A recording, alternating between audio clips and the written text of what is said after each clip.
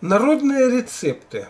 Вот у вас появился грудной ребенок. Вот он только родился. Что-то у него там болит. Скорее всего, это все с животиком связано. Но сказать он вам не может, как поступает в этих случаях. Если вы чувствуете, что у вас ребенок с животиком мается, то сделайте следующее. Под матрасик можно положить осиновую веточку. Что делает осиновая веточка? Осиновая веточка, она вообще берет на себя вредную энергетику. И тем самым, если какая-то проблема есть в этом отношении, то она ее заберет то есть энергетику боли, энергетику болезни. Далее под изголовье можно положить валериановый корешок. Что делает валериановый корешок? Он успокаивает.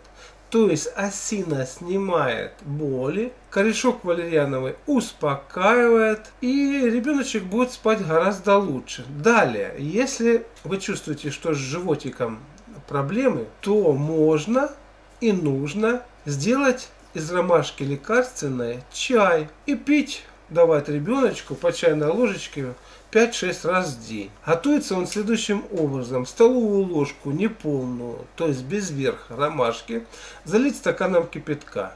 Ночь настоять. Лучше всего это сделать в термосе со стеклянной колбой. Далее из этого термоса тепленьким давать ребеночку указанную дозу.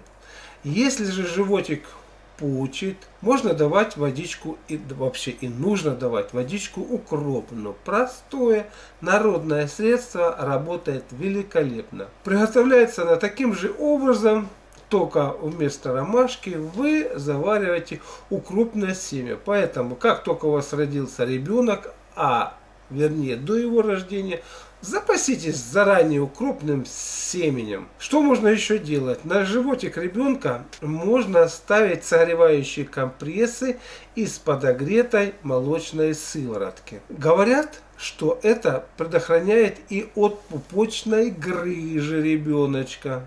Потому что в молочной сыворотке много различных микроэлементов, особенно калия, который полезен для мышц живота. Воспользуйтесь вот такой простой рекомендацией для того, чтобы ваш ребеночек был здоров, а вы были спокойны и уверены в том, что всегда можете помочь.